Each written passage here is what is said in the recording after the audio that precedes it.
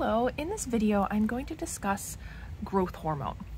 Uh, what we are looking at in this video is essentially we are zooming in on the hypothalamus and pituitary, right, here within the brain. Um, so here, this is the hypothalamus, the infundibulum, the stalk, and the anterior and posterior pituitary gland. In order to initiate the release of growth hormone, this neuron here um, is actually representing a larger group of neurons within the arcuate nucleus, right? I've simplified it just to show you um, that there are neurons within the arcuate nucleus that are going to release a hormone called growth hormone releasing hormone. This releasing here indicates that this is a um, that this is a uh, tropic hormone, which is essentially going to trigger the release of something else from the anterior pituitary gland. So we see here the exocytosis of growth hormone releasing hormone. And we see that this hormone is going to enter into the bloodstream here within the median eminence. Okay?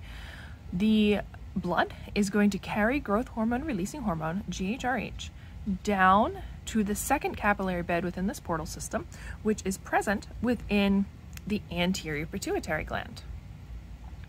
Okay?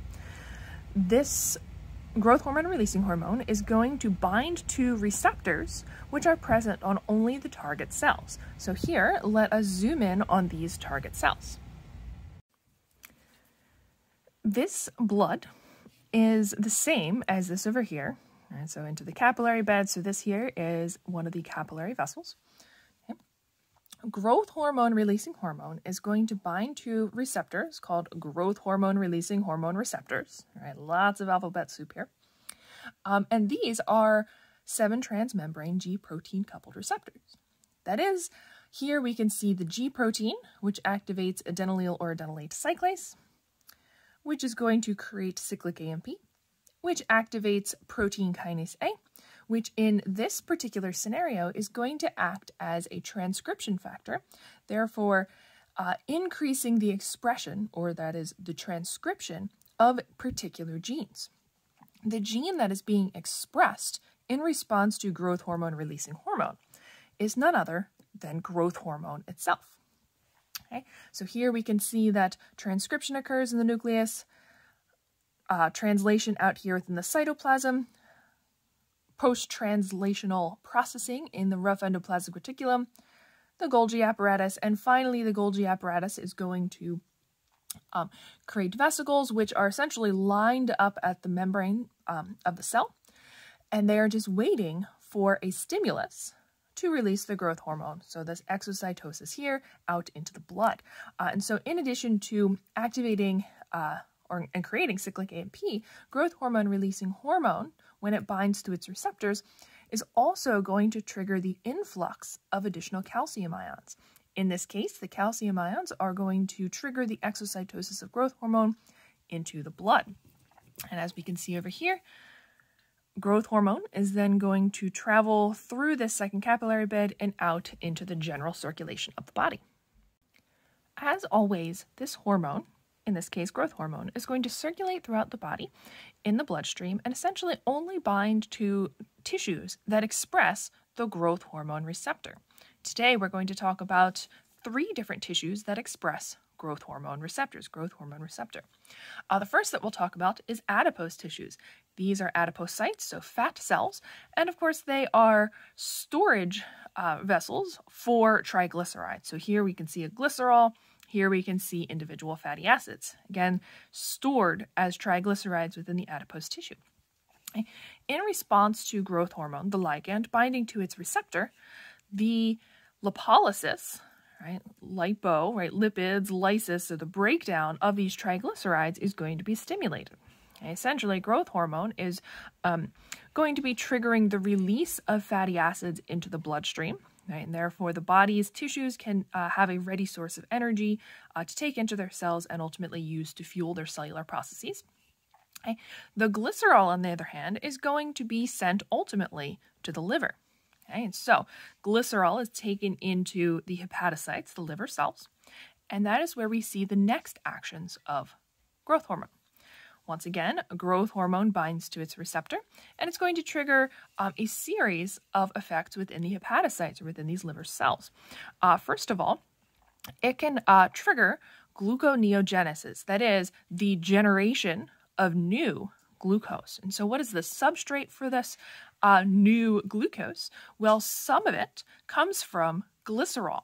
Okay, so there are enzymes within the hepatocytes that are going to take glycerol and they are going to convert it into glucose.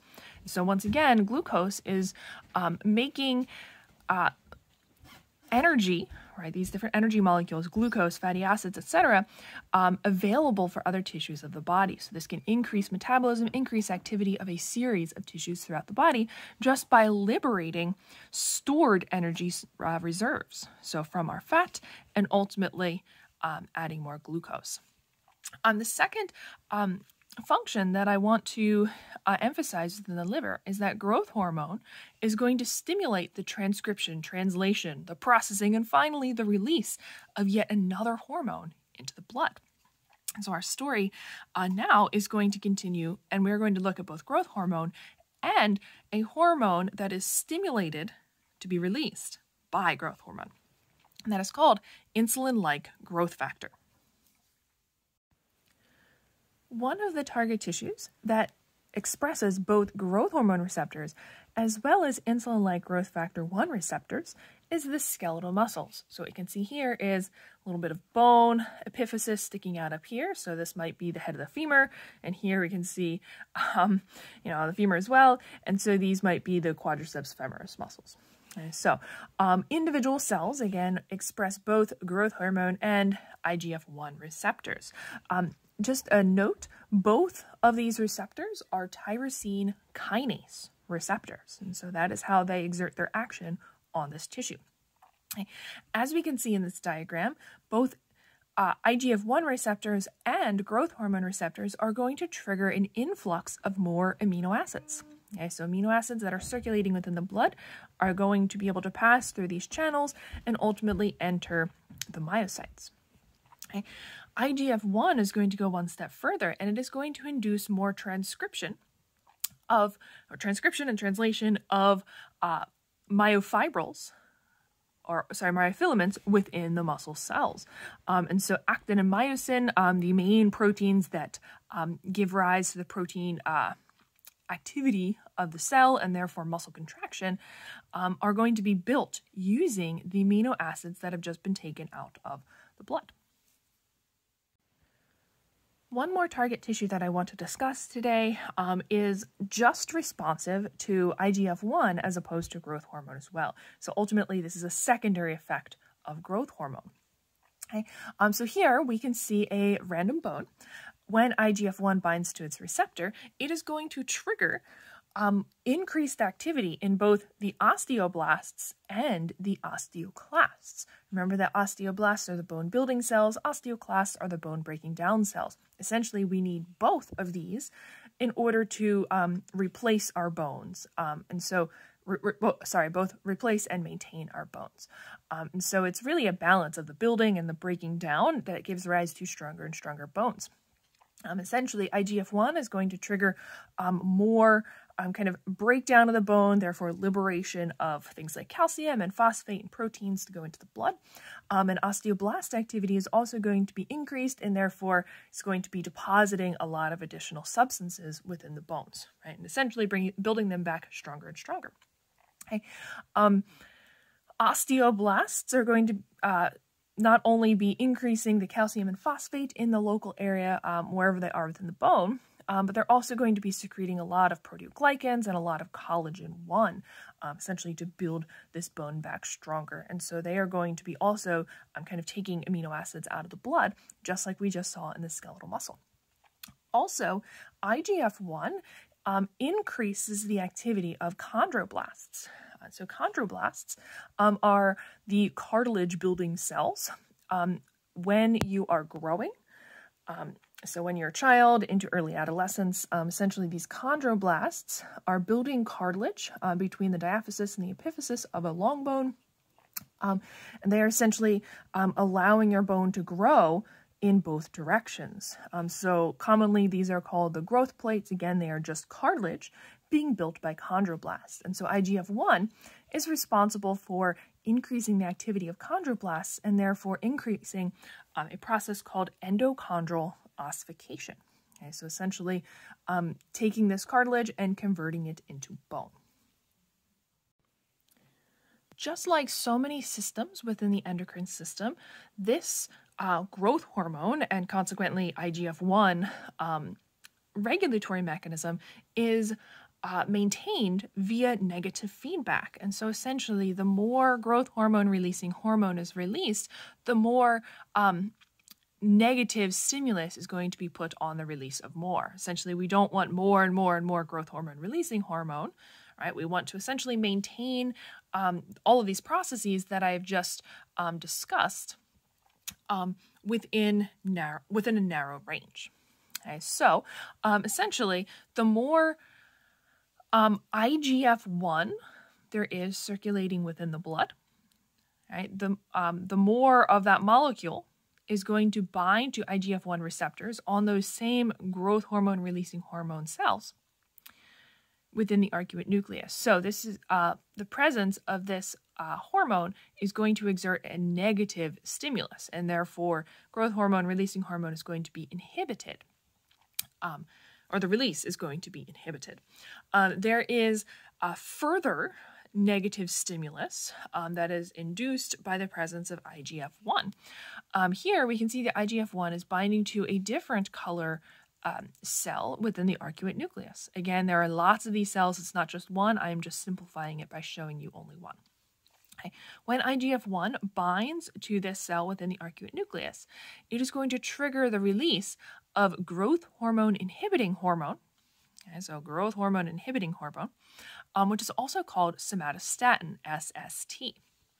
Okay, here, once again, we can see um, that this molecule right, we can use either name, is released into the first capillary bed within the portal system in the median eminence. Okay, and so it is going to flow down um, to the cells, and we'll talk about that in just a moment. Um, so uh, IGF-1 induces the release of growth hormone inhibiting hormone and somatostatin. Also, we have um, cells that are located within the paraventricular nucleus, also within the amygdala, right? So within this part of your brain that is responsible for um, kind of primal emotional states, these can also induce the release of growth hormone inhibiting hormone into the blood of the median eminence.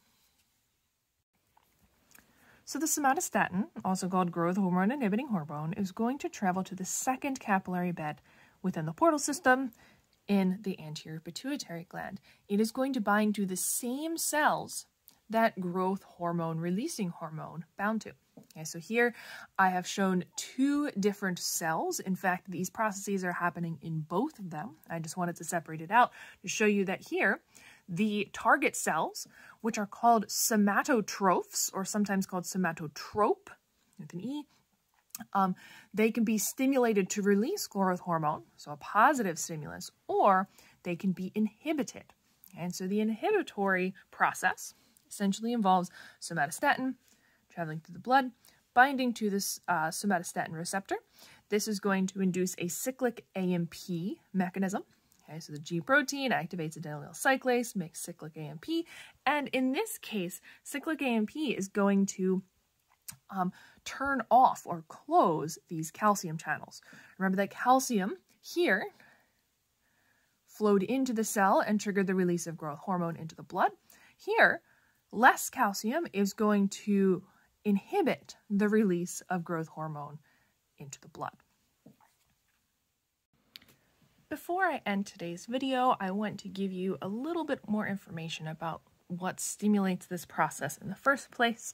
Um, essentially, these uh, growth hormone releasing hormone cells within the arcuate nucleus are going to be triggered to release GHRH in response to additional amino acids within the blood.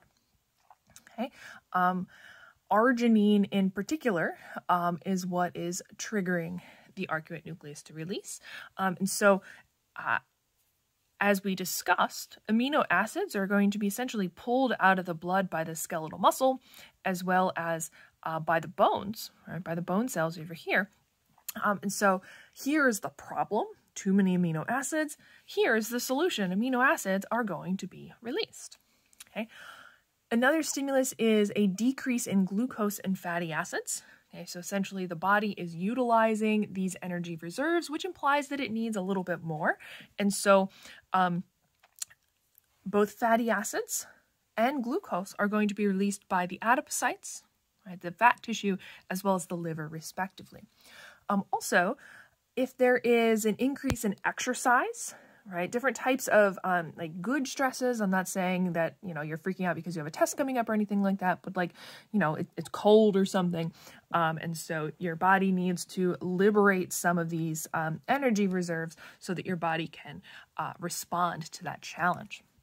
Um, also, ghrelin. Um, so, ghrelin is a hormone that we are going to talk about um, in another video at another time during the term. Um, ghrelin is released by your stomach, um, and essentially, it is um, telling your brain that your stomach is not full, that you are essentially um, hungry. Um, and so, this um, liberation of glucose and fatty acids essentially helps your body to maintain its activity even in a fasting state. Okay. Um, other factors that are going to increase this entire process um, norepinephrine Okay, so noradrenaline might be more familiar to you. Um, vasoactive intestinal peptide, um, which is a hormone that is released by your intestinal cells um, in response to more um, more food coming into the intestines, and therefore, if you have just eaten, you're going to want to pull amino acids right out of your blood, and therefore um, deposit them and store them within your skeletal muscles, right, and actually utilize um, that meal. Also, a thyroid hormone um, exerts a positive effect on the somatotrophs. Okay, so all of these factors up here are increasing growth hormone releasing hormone release. Um, these are enhancing the effects of growth hormone releasing hormone. Okay, so they're going to lead to even more growth hormone um, going into the blood and therefore um, liberating fatty acids, liberating glucose, the creation of insulin like growth factor, the building of more muscle, and the building of more bone. Thank you so much for watching this video today.